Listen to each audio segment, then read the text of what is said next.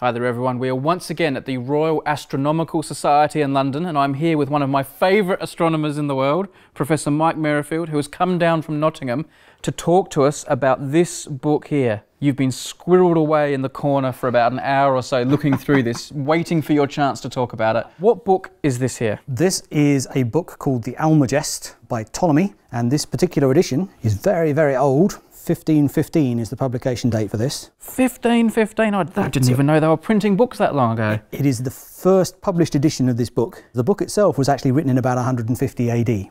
So this was already an ancient text, and they finally got around to getting it out in print. They had to wait for printing to be invented before they got it out in print. Well, you had to wait. It was going to happen eventually. It had been copied from hand to hand. The clue's kind of in the name, actually. It's called the Almagest. It wasn't its original name. Its original name was in Greek because it was originally written in Greek. But Almagest is from the Arabic, al meaning the, and magest is actually corruption of the Greek word for greatest. But you can see that even the title of it here, it's, it is in Latin via the Arabic, via the original Greek. So it's not only has it been written from hand to hand, but it's been translated at least three times along the way. All right, some Chinese whispers sort of thing happening here. Right, and it's not a small book, right? It's actually got masses of technical detail in it. So the idea of actually transcribing some of this stuff, you know, you've got tables. So here's a whole table of positions and magnitudes of stars, for example, and they've got all their positions and how bright they are on the sky. Pages and pages of this stuff, which all had to be handwritten and transcribed from hand to hand. This is a long time ago that Ptolemy's around. I'm assuming it's not going to have too much useful astronomical information in it. I mean,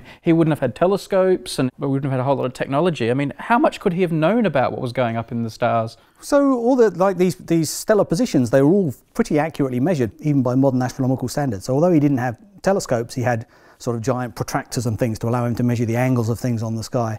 And the other thing is that actually, although this is his book, the star catalogue here, for example, isn't his original work in that the original star catalogue, probably that most of this came from, was written several hundred years before Ptolemy by Hipparchus. I want us to look at the start of the book. A table here, tabula. Sorry there, I'm dropping some Latin in there for you. That's probably the contents. Yes. That'd be my guess. Oh, we've got these lovely little flourish here. I don't know what they're called, but I love those things at the start of chapters. Very nice. Oh, they're all there. Look at them. They're everywhere. This bird is pecking the eye of this moon tree thing. Is that eating something? Fascinating, isn't it? I don't know. It's eating its own tail, isn't it? I'm sure that's not what we're supposed to be looking at. Anyway, all right, sorry. Let's get sciencey. There are many diagrams like this. The thing that Ptolemy's most famous for, and that was first described in his book, is his model of the solar system. And famously, he had this model of the solar system where the Earth was close to the centre and everything else was orbiting around it, so the Sun and the planets. Of course, it doesn't really quite work, because actually we know, of course, the Earth isn't really close to the centre of the solar system.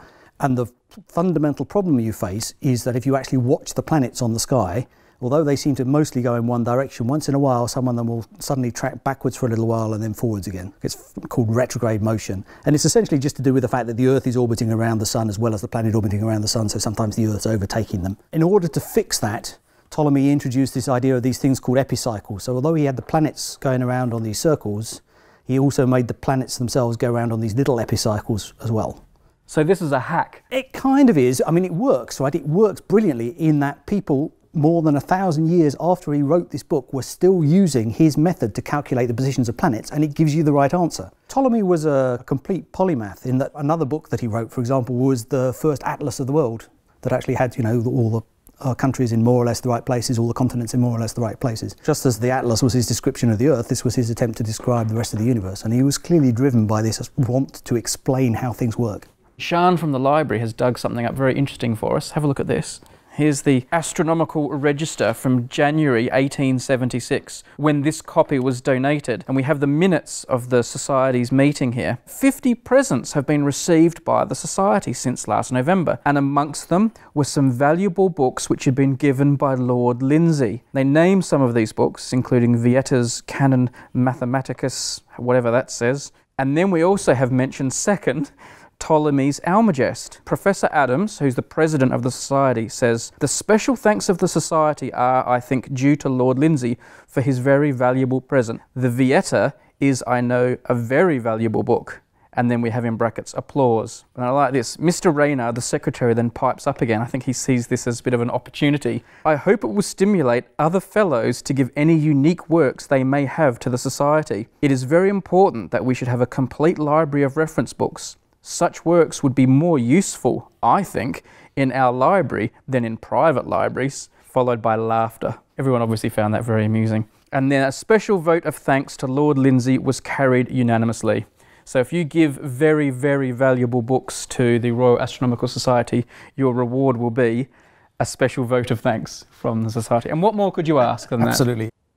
Support for this video comes from 23andMe, a personalised genetic service that helps you learn what the 23 chromosomes that make up your DNA can tell you about your ancestry, traits, and health. To help with scientific research and discoveries and learn your own personal DNA story, go to 23andme.com and then add slash objectivity so they know you came from here.